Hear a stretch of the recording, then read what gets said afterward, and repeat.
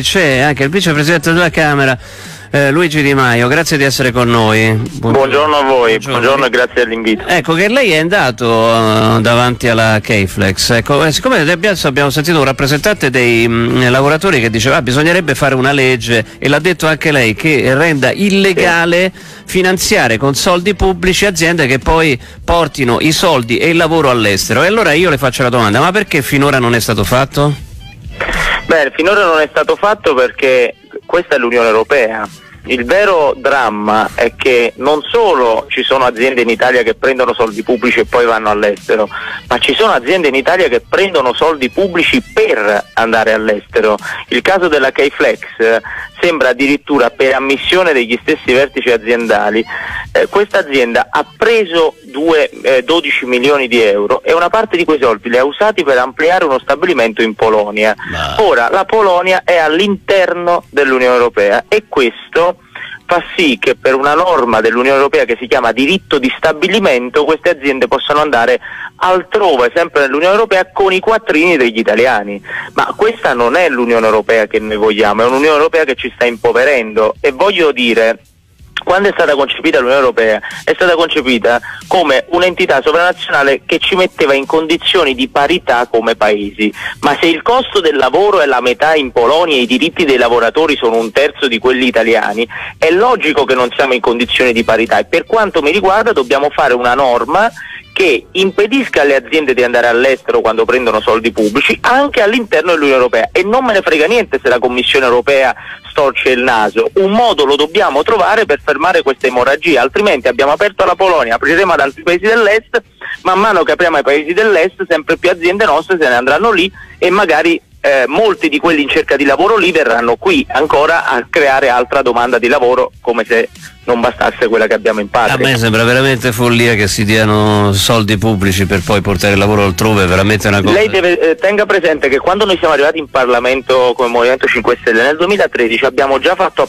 approvare una legge che oggi è legge dello Stato che dice se tu sei un'azienda italiana che prende soldi dello Stato e va in un paese fuori dall'Unione Europea o restituisci i soldi o non te ne puoi andare e questa legge è in vigore oggi, però riguarda Turchia, eh, Venezuela, okay. Argentina, insomma le mete delle delocalizzazioni principali italiane fuori dall'Unione Europea. Adesso noi dobbiamo fermare questa follia che c'è all'interno dell'Unione Europea perché altrimenti noi nel giro dei prossimi dieci anni diventeremo un deserto industriale certo. e lo avremo finanziato noi questo esodo di aziende italiane verso altri paesi esteri. Questa è una delle tante follie che abbiamo creato con questa um, unione che è sempre meno politica e sempre più eh, di convenienza. Oh Di Maio, eh, chiaramente la sua presenza eh, davanti agli stabilimenti appunto, che, che, che, questa multinazionale vorrebbe eh, chiudere e la sua presa di posizione dimostrano che eh, insomma, quel gap che viene spesso imputato ai, al Movimento 5 Stelle di non essere poi capaci di fare le cose viene, viene colmato, no? dice beh se quelli capaci comunque hanno prodotto questa roba eh, cerchiamo di fare qualcosa di differente, insomma sì. di differ- e, e, in qualche modo è la manifestazione di un movimento Movimento 5 Stelle forza di governo? Le faccio questa domanda Di Maio. Io sicuramente eh, le dico questo, ieri io sono andato lì eh, prima di tutto per riaccendere i riflettori su uh, un gruppo di lavoratori che da 40 giorni ormai è lì assediato a sorvegliare che non si portino via i macchinari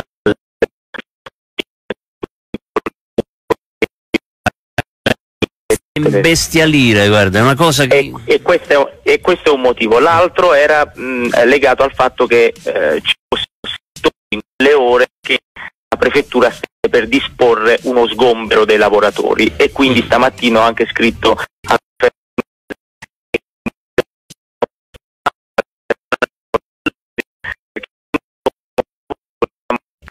un'ingiustizia che si eh, macchinari si riportano all'estero. Per quanto riguarda invece la questione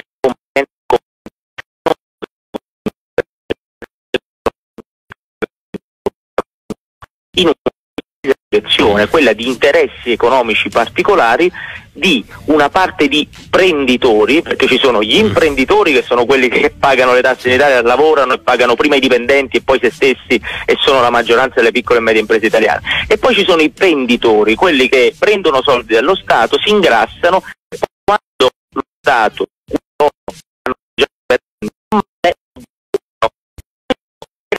è stato eh, è stata l'ispirazione di molti nord europei adesso. Vogliono aggredire l'est Europa perché lì il costo del lavoro è la metà, i diritti sindacali sono pochissimi e quindi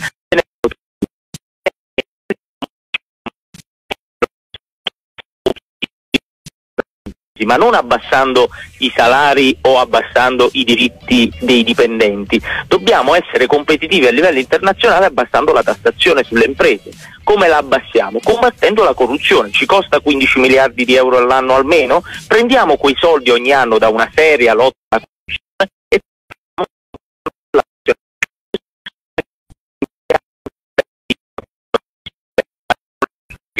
comportamenti. Quello di economico di fronte ai lavoratori e dice a me non me ne frega niente, me ne voglio andare in Polonia dopo che ho preso 12 mesi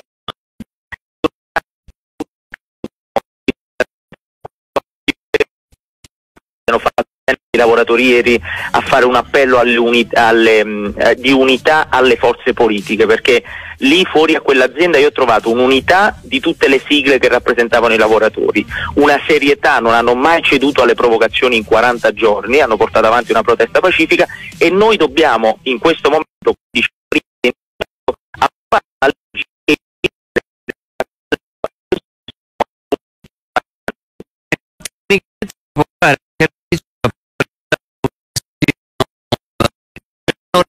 le volute dall'Unione Europea. Ecco, tecnicamente si può fare o non si può fare?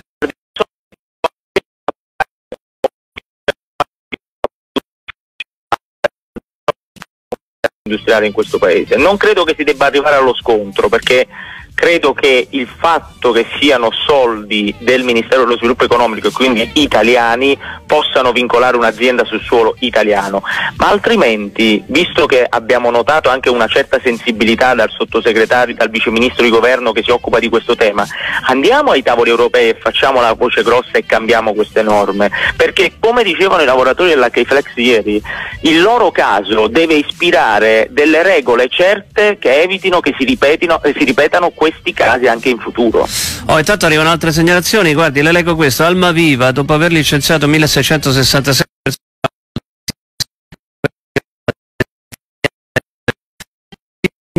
euro per investire in Brasile con i soldi pubblici ha già aperto tre sedi in Romania. Ecco per dire che lo fanno pure gli italiani ecco questa, questo giochetto sì, ma eh, attualmente io assisto continuamente a casi del genere. Molti la chiamano internazionalizzazione, ma in realtà è un modo elegante a volte, non sempre, a volte per creare delocalizzazione. Cioè, sta, noi siamo la patria del Made in Italy, in tutto il mondo, anche i nuovi ricchi dell'Est, cinesi, indiani, guardano al Made in Italy come un frutto proibito a cui ambire, perché è prodotto anche in quantità piccole rispetto alla domanda che può avere a livello nazionale. Eppure noi invece di permettere alle nostre aziende di esportare all'estero, esportiamo le nostre aziende e le portiamo via, a volte con i soldi dello Stato, ma questo è da imputare anche a come si sono fatte le leggi italiane in questi anni e le dobbiamo cambiare. Se il mm. caso dell'HI Flex può servire a mettere finalmente una parola fine a questa pessima usanza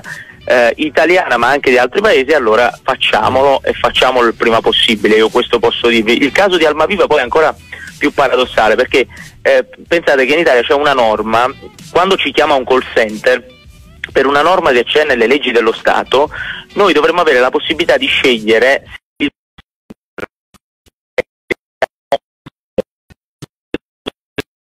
center. Questa norma non è mai stata attuata, mm. cioè è nelle leggi dello Stato ma non è attuata e questo ha permesso alla maggior parte dei call center di andarsene via in India, in Serbia, in Montenegro, in Albania.